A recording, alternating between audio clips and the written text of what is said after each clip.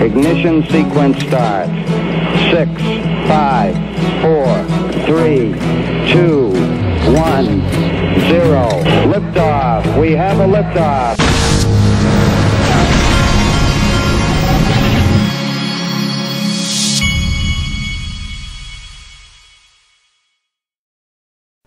Hey, everybody, this is the Digital Asset Investor, and I just got back from the doctor. In fact, they took my blood today, not because there's anything wrong, but because I was going to do the annual checkup thing, and I do not like having my blood taken. Um, not at all. But they took my blood today, and um, I'm going to, of course, I'll find out the results of all that down the road. But everything checked out, everything's cool but I'm at that age where you have to do this thing annually at least or every six months.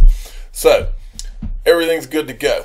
Um, XRP Crypto Wolf RippleNet offers connections to hundreds of financial institutions around the world via a single API and makes moving money faster, cheaper, and more reliable. It also helps reduce, even eliminate the need to pre fund accounts with on demand liquidity. This was, Ripple had tweeted this out. This is an old, I mean, this is actually, I think, a, a link to their website. Um, they're just kind of, I've noticed they're like retweeting, you know, older things every once in a while. But that's okay. We cover them when we see them. And then XRP Crypto Wolf also sent me this. Bitcoin futures market exceeds 2 trillion in monthly volume for January.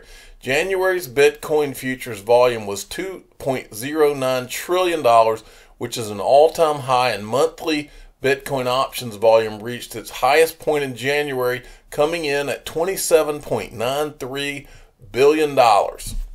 So you can see this this market is really taking off. This is interesting. Visa just announced it, it's now working on allowing customers to buy and sell Bitcoin through their own banks. And then this guy says, in retrospect, it was inevitable. I think that he's that's something that Elon Musk said the other day. He may be taking that from him. But this was from Anchorage, um, who became a crypto bank the other day, if you remember. Um, proud to be working with Visa to enable banks and fintechs like um, this one, let me see what this is. First Boulevard, I guess this is a digital bank, to easily and securely bring crypto services to their customers. That's big time. That means Visa is right there in the game, folks. All right, this is big too. Uphold tweeted this out today. Very soon, our European customers will be able to receive part or all of their salary in Bitcoin or any asset of their choice and spend it using Uphold cards issued through Optimus. That is pretty cool. Imagine that people getting paid in Bitcoin or in a crypto of their choice. That is exciting. Riz XRP sent me this. Um, Janet Yellen is going to name David Lipton, the former IMF MOM, I'm not sure what that, to, to official um, as uh, an advisor to the Treasury per Reuters. And then this is David Lipton, a tweet he had done a while back. Will crypto assets reduce demand for central bank money? I found the IMF analysis in the latest issue of Finance Development magazine quite compelling. Then here's another thing on him. Before coming to the fund, Mr. Lipton was a special assistant to the president and um, served as senior director for e- international economic affairs for the National Economic Council. Anyway, bottom line is this guy is decorated government veteran. He was in the Clinton administration um, at the Treasury Department. So this guy is uh, has been around. Now, this is an interesting video of David Lipton from Macro Trader, formerly Cryptopolis X. Okay, so used to be Cryptopolis, but he had put this out back in October of 2019. Big Tech's promise is to make payments and financial services as easy and as cheap as sending a text or a picture. This could potentially change and reshape the financial sector's landscape for the future. However, as they grow and become a systemic part of the financial system, things become a bit more complex than sending a text or a picture. Finance, after all, is the most regulated industry in the world, and for good money, for good reason. It's about money, and it's systemically important. More specifically, it's about all the money. Okay, every time I see something about the IMF, I like to, I'm reminded of Jess Cheng, Cheng, who's the um, senior counsel at the Federal Reserve Board, former Ripple, um, and also former IMF. She's now senior counsel at Federal Reserve. Before that, she was counsel at the IMF. Before that, deputy general counsel at Ripple. And before that, Federal Reserve Bank of New York. You can't make this stuff up. Now, James Rule uh, uncovered something interesting. He apparently saw where this guy, Fred Wagner, I don't know. I don't know if the guy's become CFO of PolySign, but he he he showed some documents here where it looks like he, at a minimum, is a is now a shareholder. We knew about the others. I had seen their names before. I don't know if this is a new one or not, but I'm assuming that it is because you're not hearing anything else out of PolySign. Okay, M sent me this. This uh, M, this person that goes by M earlier this today sent me something about quantum, and I don't know if you're noticing, but this quantum's popping up everywhere in articles left and right now. And so, to me, I'm fascinated by it because I believe I don't believe that you can create these new digital currencies around a new financial system unless you're making them quantum resistant. And so I'm going to focus on that a little bit here. But this is an article where MasterCard MasterCard preps contactless technology for quantum era. They announced that it's applying quantum technologies to develop its next generation contactless contactless payment.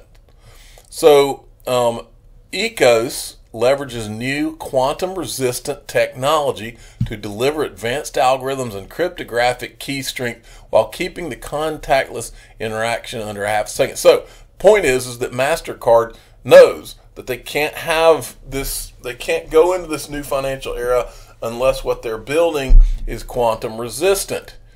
Everybody knows it. That's why Bitcoin, I'm telling you, I see what I see coming down the line is somehow, and I'm wondering what happens if that happens. What if someone comes along with a quantum computer and they're able to mine Bitcoin with just the push of a button in seconds with a quantum computer? What happens then? And yeah, I know, I know. I'm crazy because I think that quantum computing is not 20 years out. Well, you can think I'm crazy, but wait till I show you what I'm about to show you because I don't think I am. First, I want to show you this. This guy put out this tweet quantum resistant blockchains. The elliptical curve signature of Bitcoin could be, be broken by a quantum computer by 2027 unless measures are taken. Algorand focuses on being quantum resistant, hiring world leader in post quantum cryptography Chris Peikert. Now, I don't think it's just Algorand, although I do find Algorand interesting. I think it's XRP. I think it's Stellar, and I think it's Flare. I, I don't think I know they they've got to be working on it because they've they've hired someone that's a doctor of quantum computing. Now, this is what I wanted to show you. There's a 1 in 7 chance that some fundamental public key crypto will be broken by quantum by 2026, and a 1 in 2 chance of the same by 2031. National Institute of Standards and Technology, U.S. Department of Commerce. This is a is a quote I took out of that. When will a large scale quantum computer be built? And then this is a quote from this Dr. Michele Mosca of the University of Waterloo. Okay, so my point is is that you better believe they're working on this. They're working on making these, even if a quantum computer is a ways out, they're working on making sure these things are quantum resistant. And I put nice to know Flare's chief scientist has a PhD in quantum computing. Right? Um, actually, here it is right here. This is the chief scientist for Flare. Um, now, this is was where I got this right here. I just wanted to show. It's look right here. National Institute of Standards and Technology, U.S. Department of Commerce. It says the ship has sailed. The NIST post quantum crypto competition. So they're saying this is already this, we have we are already preparing for this because they know it's coming. This, if you go down, well, right here it says, look at this. Hold on a sec. Well, if I can get the NIST has decided it is the time to look into standardization.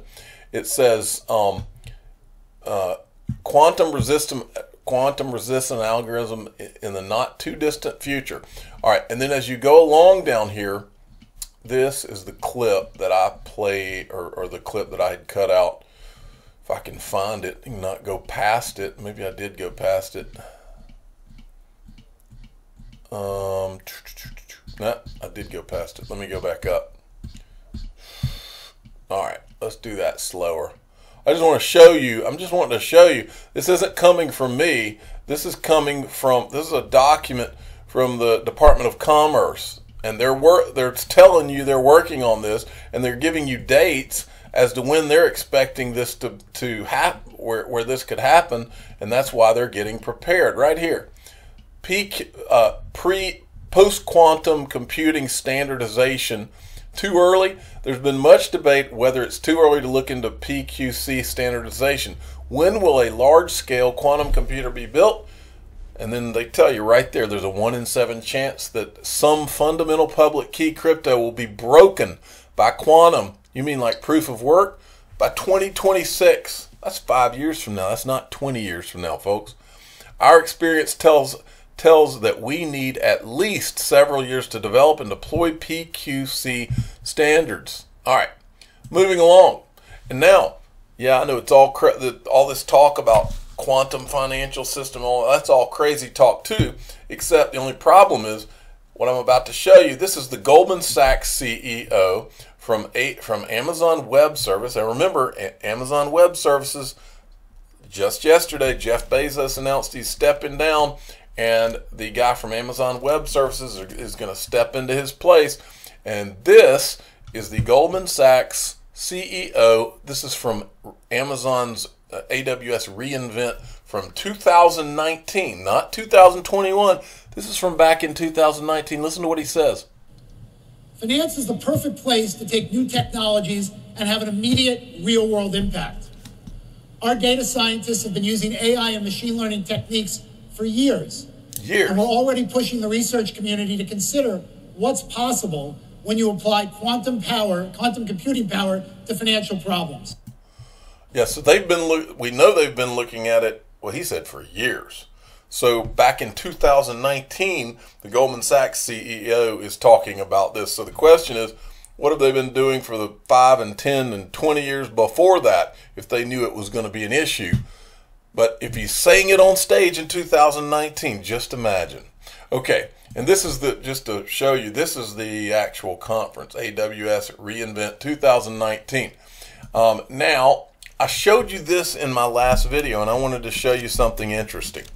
Um, this was, um, I've, I've told you a lot of times on this channel, there are people that just have, over the last three years, that have popped up on social media, and they are they're always using fake names and, and they don't ever show themselves. And then they, they talk like they know something and then they disappear and you never hear from them again.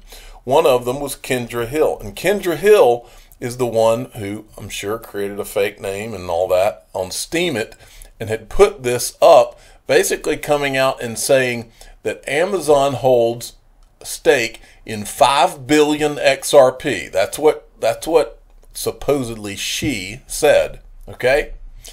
And then um, this, and, and she also said that there's going to be there's a deal that that Amazon, I think she said AD, AWS. Let me see if if she said AWS or just Amazon. Maybe she just said Amazon. Okay. Anyway, um, Amazon. All right. So then this is Cory Johnson from January 5th, 2019. He was the Ripple spokesman at the time.